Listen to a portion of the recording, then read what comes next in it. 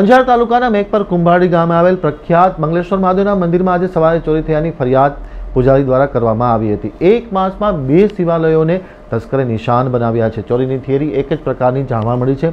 પોલીસે આ શિવાલયના ઠેલ ચોરી અંગે તપાસ હાથ ધરી છે. હવે જોઈએ અંજારથી મારા પ્રતિનિધિ બળદેવપુરી ગોસ્વામીનો એક વિસ્તૃત અહેવાલ.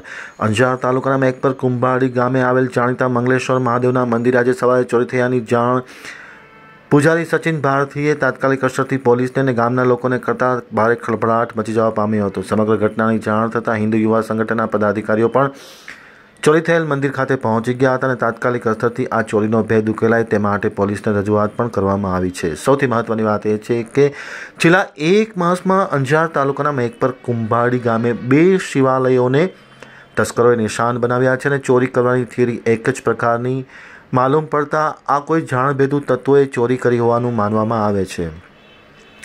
પૂજારી સચિન ભારતીએ પોલીસને જણાવ્યા અનુસાર કે તસ્કરો સવારના, વહેલી સવારના ચોરી કરી હતી અને આખી દાનપેટી ઉપાડી ગયા હતા, જેમાં કરીબન પચાસ હજાર રૂપિયા દાનપેટે આવેલી રકમ હોય તેવું માનવામાં આવી રહ્યું છે.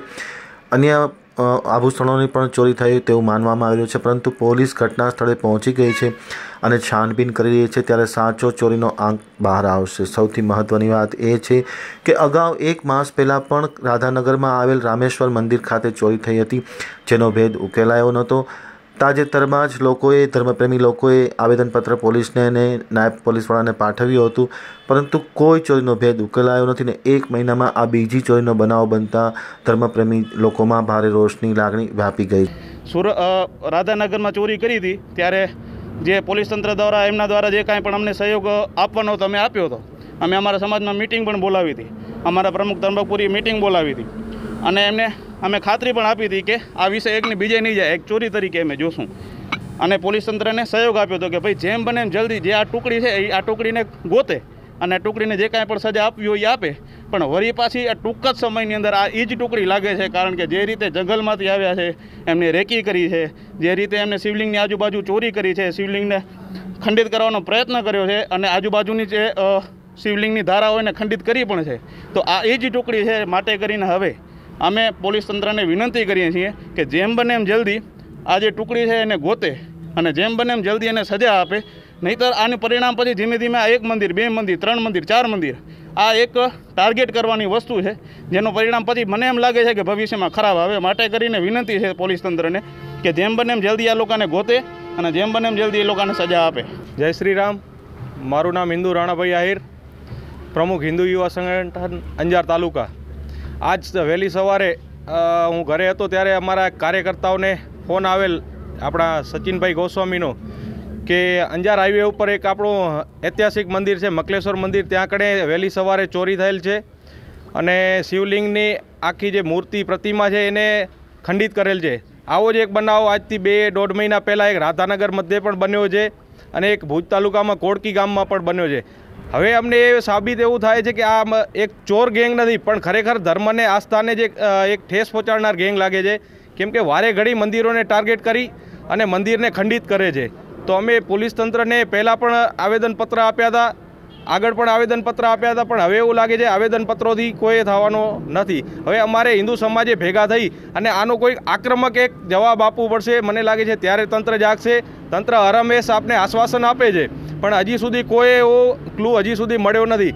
અમે તો એવું ધારી છે કે તંત્ર જો ધારે તો મુર્દાને પણ બોલાવી શકે છે કે આ કોનો મુર્દો છે? પચીસ વર્ષ પછીનો મુર્દો પણ બોલે કે હું આનો મુર્દો છું. તો તંત્ર હજી સુધી કેમ નિષ્ક્રિય છે અને નિષ્ફળ છે? અમે તંત્રને આજે માંગ કરીએ છીએ કે ભાઈ વહેલી તકે આ લોકોને પકડે. જ્યાંની પણ ગેંગ હોય, કોઈ મિસ્ટર ઇન્ડિયા તો છે નહીં કે ઘડિયાળ બંધ કરીને હાલ્યા જશે. ક્યાંક ને ક્યાંક કોઈકને કોઈકના ટચમાં તો એ ચોર આવતા જ હશે. એટલે વહેલી તકે પ્રશાસન આ લોકોને પકડે અને જો ન પકડે તો હવે અમારે કંઈક આગળ ઉગ્ર આંદોલન કરવાનો વિષય ના આવે અને પ્રશાસન સામે અમારે થવું ન પડે એવી અમારી માંગ છે. જય શ્રી રામ રાત્રે આ દુઃખદ બનાવ બન્યો છે. મંદિરમાંથી મહાદેવના ઉપર જે નાગ દાદા હોય છે, જે એલોય કહેવાય છે પંચ ધાતુનું બનેલું હોય છે, એ કોઈ હરામખોર કહેવાય એ માણસો લઈ ગયા છે. અને બહુ દુઃખદ ઘટના છે અને પોલીસ પ્રયત્ન કરે છે. ડોગ સ્કોડ આવી ગયો છે, પગી આવી ગયો છે, પગીએ ગોતી લીધા છે, માણસો કઈ તરફ ગયા છે અને એફએસએલ અધિકારી હમણાં આવવાના છે ટૂંક સમયમાં અને તપાસ ચાલુ ચાલુ છે. એની તો કિંમત આશરે આ લોકોએ જણાવે છે કે દસથી બાર હજાર હશે. અને પેટીમાં જે પૈસા જે કહે છે, એ એક તારીખે આ લોકો દર મહિને પૂજારી જે હોય એ કાઢી લેતા હોય. એટલે બીજા કદાચ ફરિયાદમાં લખ્યું હોય, મને ખબર નથી. ફરિયાદ ત્યાં ડ્રાફ્ટ થઈ રહી છે પોલીસ અવારનવાર બનતી ઘટના છે બહુ દુઃખદ વાત છે, પણ પોલીસ પ્રયત્ન કરે છે અને પેટ્રોલિંગ રાખે છે. છેલ્લા દસ દસ દિવસમાં ત્રણ ચોરીઓ થઈ એ સો ટકા આપણે અંજાર પોલીસે સમય મર્યાદામાં પકડી લીધી છે. આ તમને તમામને ખબર છે. અને આ પણ ટૂંક સમયમાં પકડાઈ જશે.